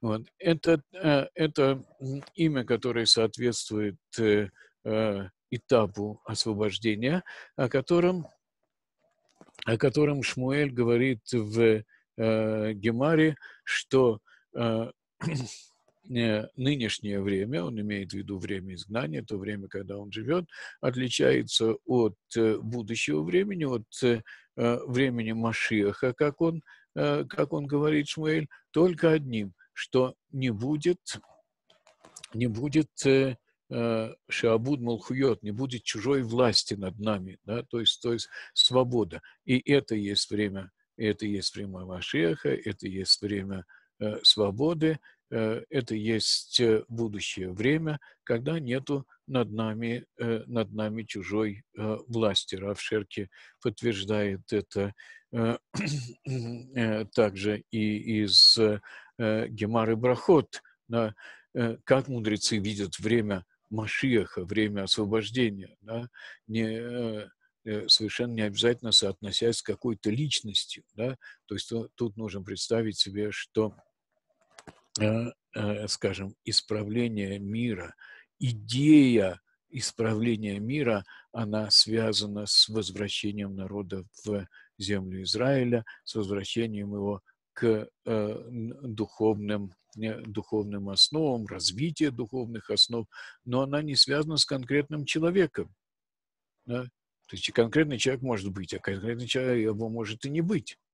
Поэтому, э, скажем, также в Талмуде и в пророках э, нету концентрации на определенной личности, а есть концентрация на процессе. Здесь также мудрецы говорят о э, процессе, когда они говорят о времени Машеха, они говорят о определенном этапе процесса развития и освобождения, и мысли, как мы можем представить себе, что у человека, который живет в земле Израиля, и в э, стране, э, в стране свободной, да, то у него и э, мысль, и религиозная мысль, она работает несколько, несколько иначе. У человека, который борется, да, который не готов уступить свою свободу, у него и мысль работает несколько иначе, иначе он и на уровне мысли не захочет уступить свою свою свободу.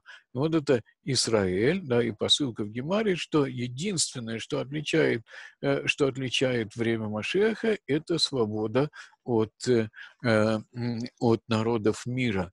Когда происходит это освобождение от народов мира, Рав Шерки ссылается на Брахот, на Мишну, которая приводится и в Агаде, и там, где мудрецы цитируют там, мудрецы цитируют э, и пророка Иеремияху, который говорит, что в будущем не будут вспоминать э, не будут э, вспоминать исход из Египта, да, а будут говорить об освобождении всех стран, которые Всевышний произведет, и в том числе из, из всех из страны северной и из всех стран да, об этом будут, э, об этом будут говорить в будущем и не будут вспоминать э, исход из Египта. Мудрецы, э, э, скажем, да, несколько корректируют это утверждение, там, Бензума, допустим, да, скажем, сейчас, чтобы не вдаваться в подробности, они говорят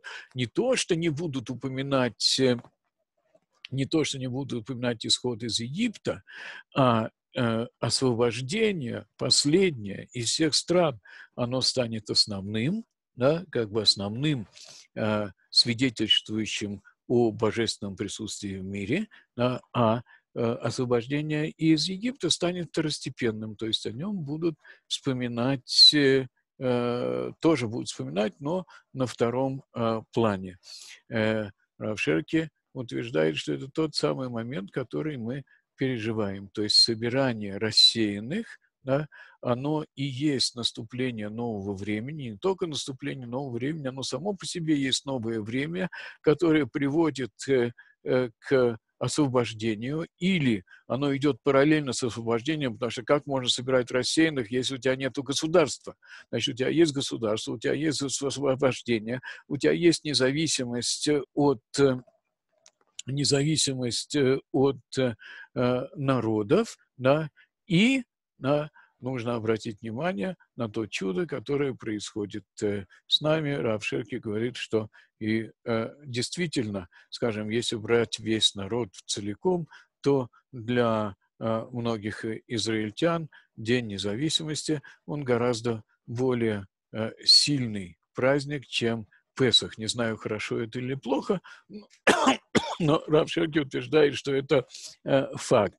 И тем самым как бы подтверждает то, что говорят мудрецы э, в то, что говорят мудрецы в Гемаре, что в будущем будут вспоминать сначала о последнем освобождении, и только потом вспоминать о выходе э, из э, Египта. Итак, это как бы второй, второй э, можно сказать, пласт народа, э, можно сказать, пласт, э, пласт нашего развития, можно сказать, пласт истории. Да? Но в любом случае Яков это одно, а Израиль это несколько другое. Да? Но здесь мы Здесь мы не останавливаемся, Рав Шерки не останавливается, да, и он делает еще один шаг и говорит, что есть еще одно имя, это Ешурун. Да.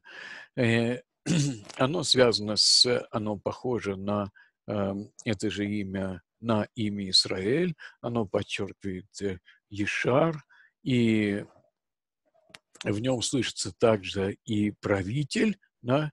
Вот давайте сначала посмотрим, где оно появляется в Торе, да?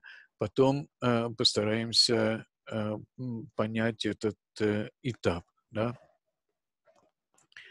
А, Ваишмен Ешурун, Ваишмен Ешурун, Ваив Ад. Да? В книге Дворим, последних главах, где Маше а, предсказывает будущее сыновей Израиля, предупреждает, чтобы они не бунтовали против Всевышнего, говорится, и Э, как бы э, растолстел Ешурун и начал брыкаться, начал легаться. Вот здесь понимается, представляется имя Ешурун, и мы видим, что оно относится к будущему. Да? Вот. Э, дальше говорится также в этих главах, которые говорят, рассказывают о будущем, говорится, и будет у Ешуруна царь, когда соберутся главы народа вместе. Еще одно упоминание Ишурум. Да? А, вот. И есть э, упоминание еще Ишурун э, в Ишаягу в 44 главе, как мы с вами э, видим. Да? Теперь, не вдаваясь в большие подробности, мы можем сказать, представить с вами так, что Ешурун, да, Рав Шерки говорит об еще более общем плане, чем имя Израиль. У, если Израиль, то это план национальный, то и Шурун – это тот план, э, тот план развития мысли, который выходит за э, уже рамки народа и э, связан с влиянием на Э, на весь мир. Да? То есть мы представляем себе, что задача еврейского народа – это повлиять на, повлиять на весь мир. Рав Шерки утверждает, что мы вступили в этот этап, да, когда мы должны оказать э, влияние на весь мир. Но здесь, э, здесь опять же, сам Рав Шерки говорит, что с таким утверждением – то есть не то, что с таким утверждением, а на этом этапе, когда э, от нас требуется влияние на весь мир, э, есть, возникает целый ряд проблем, которые мы видим вокруг нас. Да, для того, чтобы влиять на весь мир, нужно иметь что сказать миру. Да? А мы как-то не, не знаем и не хотим э, сказать миру простые, э, простые вещи. Да? У нас нету то, что называется амира, адженды, высказывания, на заявления. У нас, к сожалению, этого нету. Это должно было бы произойти после 67 года, как Рав Шерки утверждает, что после 67 года весь мир ожидал от нас, что мы скажем, что у нас есть что сказать всему миру, да, а у нас не нашлось ничего сказать всему миру, кроме того, как э, возьмите эти земли обратно, возьмите храмовую гору обратно, у нас ничего не нашлось сказать всему миру. И тем не менее мы вступили в этот, э, э, э в этот этап влияния на весь мир, когда, он, когда нам так или иначе придется соотноситься и соотноситься с, со всем миром, с, да, и так или иначе прямым или косвенным миром, э, прямым или косвенным образом а, оказывают влияние на весь э, мир. То, что мы с вами как бы несколько раз упоминали, что распространение божественного мира, божественного присутствия в мире – это момент очень тяжелый для, для всех, и особенно для всех народов, поэтому, скажем, да, выход на вот этот этап Ешурун, когда Израиль э, оказывает, или, по крайней мере, должен оказать влияние на весь мир, и это мир ощущает, он вызывает большое сопротивление во всем большое сопротивление во всем мире. Естественно, люди не понимают, что они вступают в борьбу со Всевышним. Фактически, да, это происходит, это на, происходит на подсознательном уровне. Есть целый ряд интересных замечаний еще в лекции вот, Раф, Раф Шерки, да, но это как бы вот три... Далее, то есть важное утверждение, которым подводит Равшерки, что мы не только, скажем, как бы переходим из этапа в этап, да, у нас в обществе сохраняются старые этапы. У нас есть в обществе те, кто замкнут на религиозные идеи в ее таком ограниченном э, плане, то есть э, в каком-то смысле э, э, не то, что он находится в Галуте, он полагает, что он находится в Галуте, э, пытается продолжать ту же самую идею религиозную, в ее несколько ограниченном, замкнутом э, виде пытается ее продолжать. Да? Э, есть Израиль, есть э, группа, которая мыслит в национальном плане, мыслит в плане, мыслит в плане, скажем, освоения земли, защиты земли, построения общества в Израиле. Есть группа, которая мыслит таким планом, да? Вот в таком плане и она есть сегодня. Эти группы существуют параллельно, как мы можем себе представить. Но есть группа, которую можно отнести к Ешурун. Да? И э, здесь э, скорее к этой группе, э, которая мыслит по утверждению Рав Шерки да, э, такими глобальными понятиями э, э, мировой, мировой культуры, э, представления Э, и представление Израиля как э, э, мировой, мировой силы, да, это мир в основном, мир в основном нерелигиозный да, в Израиле. Да. Вот это как бы такой расклад, да, и идея Равшерки, как бы его э, перспектива очень позитивная э, в том плане, что эти группы должны эти группы должны объединиться, и э, каждый э, э, и каждый, преследуя как бы свои цели, должен понять, должен понять другого. Это, должен, в смысле, это понимание должно произойти. Да? И вот на этом этапе у меня есть несколько, несколько таких, то, что на иврите называется истагуйот. Да? Вот, Э, не то что э, не то что возражений, но такие да, проявления некоторой такой осторожности да, по поводу э, выска, высказанного. Да. Мне представляется, да, что хорошо бы, если было это так, да, наибольшее хорошо бы, если было, если было, если бы это было так, да, прежде всего, если бы можно было, э, если бы эти группы могли вступить в диалог, настоящий диалог, на настоящее время в Израиле отсутствует, э, э, эм, отсутствует диалог. Да? Причина отсутствия диалога, на мой взгляд, да, что те, то, что обрисовал Равшерки, очень интересно и, безусловно, правильно. Да? К сожалению, Э, э, скажем, представители этих групп, они э, часто не обладают, не обладают искренностью, скажем, то есть идеи, которые выдвигаются, они выдвигаются по инерции ради поддержания существования этих групп совершенно не, э, э, не превращаясь в идеологию, не превращаясь в какое-либо стремление и э, так далее. Да? Вот диалога, диалога нету, к сожалению, да, ни на радио, ни на телевидении, ни в общественных местах, да, потому что нету искренности, нету искреннего желания искреннего желания договориться. Да. Если бы можно было устроить дискуссию, уважительную, да, например, о позиции, о позиции Торы, о галахическом аспекте службы в армии. Да.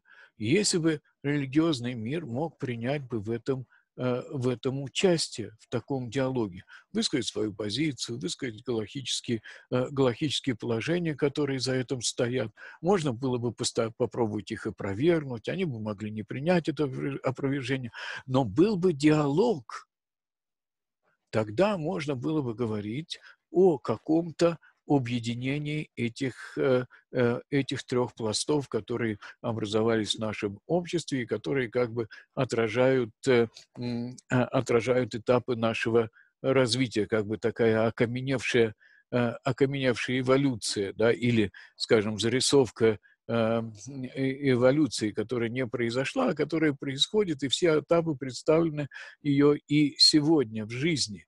Если бы эти группы у них была, э, скажем, у их руководителей а, было элементарное желание к объединению, начался бы диалог. Диалог, диалог отсутствует. Диалог отсутствует полностью. Вот, невозможно никого вызвать на общественный диспут, обсудить, особенно, скажем, ту, та линия, которую представлены, скажем, Яковом, да и Шуруном, невозможно с ними вести, э, вести диалог э, э, абсолютно. Да? Так что мне кажется, что для того, чтобы скажем, идея Равшерки сработала, прежде всего должен был бы начаться диалог, это бы свидетельствовало бы об искренности да, искреннем желании объединиться, продвинуться, решить э, все проблемы, признать то, что ты решаешь часть проблемы, предоставить другим э, решать э, другие проблемы, содействовать или смотреть со стороны, пожалуйста, но не находиться во враждебном, э, во враждебном состоянии. Вот. Я тут для себя, как бы скажем, для себя, для вас отметил несколько моментов. Да? Вот если я это сейчас найду, да? А, вот, да, а, э, несколько моментов, которые вот э, э, можно, хотелось бы дополнить к этой лекции, к этой позиции Равшерки. Да? Вот. Если говорить о том, что если говорить о том, что мы вступили в период независимости, да, очень бы хотелось, я готов признать это, но стоит поставить вопрос, а является ли государство Израиль на настоящий, на настоящий момент независимым. Действительно, мы добились той независимости, о которой говорил Шмуэль, что отсутствует э, порабощение, отсутствует порабощение народами мира, да? вот. Является ли государство Израиль э, свободным. Да? Я не говорю о полной свободе и независимости, которой нет у него одной страны сегодня в мире. Я говорю о политической тенденции, да, так как политическая тенденция в Израиле сегодня – это действие из страха, а не из, э, а не из идеологии. Да. Была в Израиле эта тенденция, как бы э, э, действие не из страха, а из идеологических принципов, как, например, Голда Мейер, как вы помните, когда ее спросили, а что вы готовы дать арабским странам в обмен на мир, она ответила «мир». Это политика не из страха, а из принципа. Да? Вот. Или, скажем, в разговоре с э, римским папой после шестидневной войны он упрекнул Голду в том, что Израиль применил, э, применил силу, что того же самого можно было добиться каким-то политическим путем. И Голдемер не стал ему объяснять, что нас напали и так далее. Ему сказал только, только одно. Но ведь это же наше. Причем здесь э, силы мы забрали? Это наше. Да? Это, э, это независимость в голове и в политике. Да? Когда э, политика Израиля э, свелась к действиям исключительно из Э, исключительно из страха, да, и, э, у меня возникает вопрос, вошли ли мы в то время, которое, о котором говорил Шмуэль, что мы независимы от э, других государств. Да? Вот. А для того, чтобы э, скажем, да, э, еще одно замечание. Да, для того, чтобы начать диалог, да, я бы призвал религиозный мир всех планов осознать, да, что от плененного младенца ты не можешь требовать исполнения заповедей. Да. Ты можешь, э, э, да, это закон Торы. Если человек не воспитывался в религиозной семье, ты не можешь потребовать от него соблюдать заповеди. Да. Что от него можно потребовать? Направленности на создание справедливого общества и э, крепкого государства. Это, скажем, то, что могло бы нас объединить. Наше желание верне, вернуть всех к чуве, к раскаянию в плане, чтобы люди начали соблюдать субботу и надевать филин, я думаю, что оно дает, э, не, не позволяет нам объединить все вот эти три группы, об объединении которых говорит Равшерки. Да? Вот. И, ну и тут моменты, о которых мы говорили, стремление построить справедливое общество, я думаю, что это то, что должно, э, должно было бы объединить все группы. Да? Вот. И а главной задачей, это, которую мы должны ставить перед собой, это собирание рассеянных. Оно, э, э, вот, э, оно бы изменило все. Есть еще несколько, скажем, замечаний. Я очень надеюсь, что я был понятен да, несмотря на, жело, на желание в, в сжатое время э, втиснуть очень, вложить очень много информации, да, если есть какие-то вопросы, скажем, ну вот у нас пару минут, может быть, есть одна-две минуты в это позднее время, пожалуйста, я готов пытаться ответить. И если можно, я хотел просто как бы... Перенести на следующий раз вопрос. Не-не-не, не, не, наоборот, сказать такую штуку, что э, при глубочайшем уважении к лектору, окей, и дальше следует еще эпитеты, я сильно не согласен с политическими как бы э, выводами. Может быть, не требую, не я, требую не, согласен. я совершенно как бы не, не, не, не то, что не готов, но совершенно неправильно сейчас начинать. Мне кажется, когда даже делают экэш, да, сравнивают ситуации, сравнивают, приводить Голду Мейер, например, ситуации современного Израиля. Это вещи удобные, но не правомочные. Мы живем в другом мире. Например, одна простая вещь – отношение израильского общества к гибели конкретных солдат, вообще солдат, совершенно по-другому, как это воспринималось тогда. Поэтому мне кажется, что, э, скажем, то, что сделал в свое время Эрцель, который сумел, наверное, вопреки и э, в соответствии не совсем не в русле того, что говорили, скажем, религиозные деятели, все, тем не менее он обрек, а, об, облег, э, да, вот э, как бы вековые чаяния. В некоторую политическую доктрину смог это сделать, Бен Гурион, который пошел на то, чтобы согласиться на Халукат Аарец, да, вот мне кажется, что просто так отбрасывать это и говорить, что, э, скажем, это все не так, надо быть стопроцентно как бы своей правоте, надо быть в этом. Я э, как бы для достижения цели я не уверен, что это правильно. Я действительно за Беннета, все это правильно, но я, грубо говоря, не согласен на 100%. Теоретически да, практически это не так. Все, это мое мнение. Окей? Okay? Окей, я не, не буду возражать. Кроме того, не, явля, не являюсь специалистом. Да, да, Единственное, тоже, Единственное, что э, э, могу сказать, что хотелось бы, скажем, видеть это в некоторой тенденции, да, некоторой тенденции в, про, в проявлении в будущем. Представляется, что без этого невозможно влияние на мир. Если не, если не эм, э, все понято, все принято, что есть реальный мир и так далее, в плане тенденции хотелось бы это видеть таким образом. Окей. Э, все замечание принято Конечно, полностью, сто процентов. Ты говоришь призыв, 10 миллионов. Но смотри, мы же не можем, Халила, брать людей в товарные вагоны и привозить. У нас совершенно свободное передвижение. Мы должны это государство сделать таким, чтобы, как ты говоришь, люди совершенно разные, не похожи на нас, либералы, за, которые у себя в Америке ходят на гей-парады. Мы хотим, чтобы они все сюда приехали, понимаешь? Поэтому для того, чтобы сделать эту страну привлекательной для всех, понимаешь, чтобы они сюда приехали, это огромная работа. А если ждать, когда они все 10 миллионов сюда приедут, ну ты меня прости, я не знаю, как это произойдет. Я, я не верю, чтобы американское еврейство просто сюда... Да, приезжают очень много. очень много приезжает, но это же не миллионы. Поэтому это огромная работа, и не факт, что на наших глазах это вообще осуществится, понимаешь? Полностью согласен. Я не имел в виду, что они завтра приедут.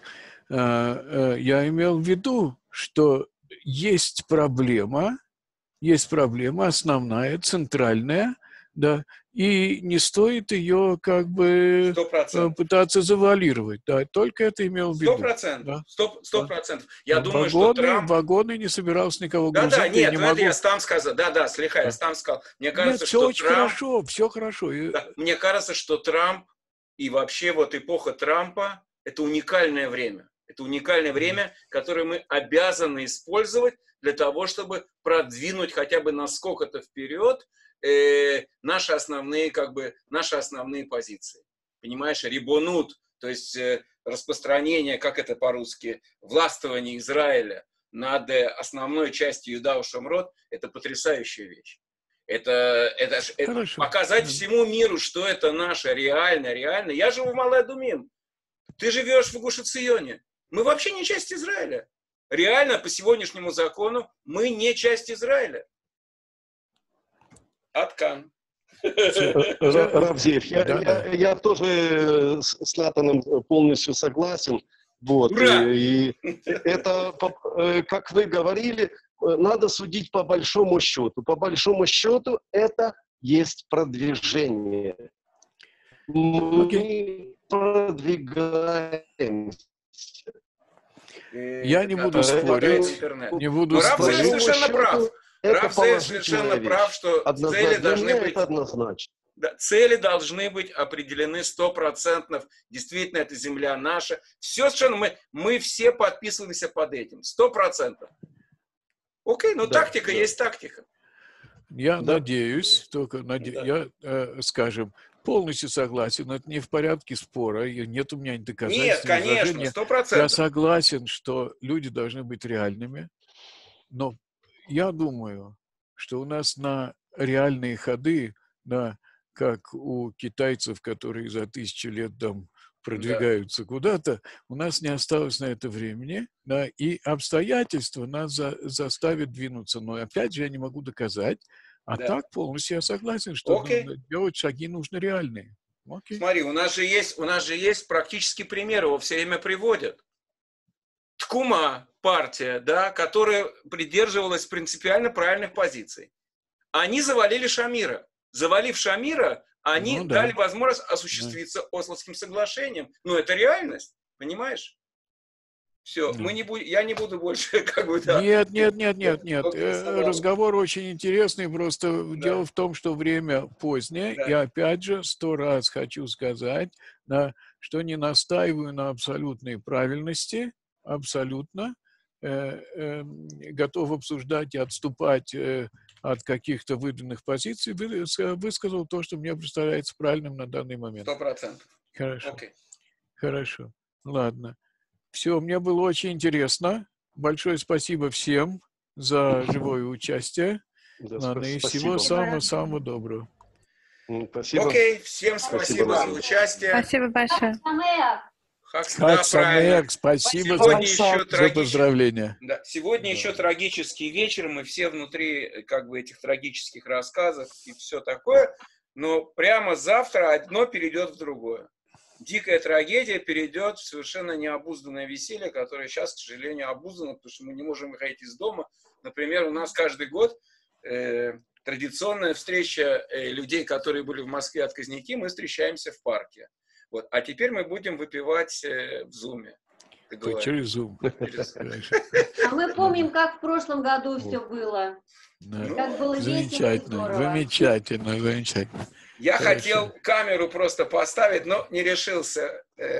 Сейчас, когда была церемония да, э, памяти погибших, как в большинстве или во всех церемониях государственных кончается пением государственного гимна. А он такой, что невозможно не встать и вообще начать как-то сильно чувствовать, да. Так вот, у нас на балконах, на балконах, я видел, народ вышли на балконы, да, и они стали петь. Это петь вообще Атику, это потрясающее было зрелище. Да. Простые Хорошо. люди, не советские, но совершенно простые люди. Хорошо. Окей. Буду рад, если я не прав. И Ебеседа. На этом мы держимся. Хорошо, Пока. всего самого Счастливо, доброго. Спасибо огромное. Пока. Спасибо.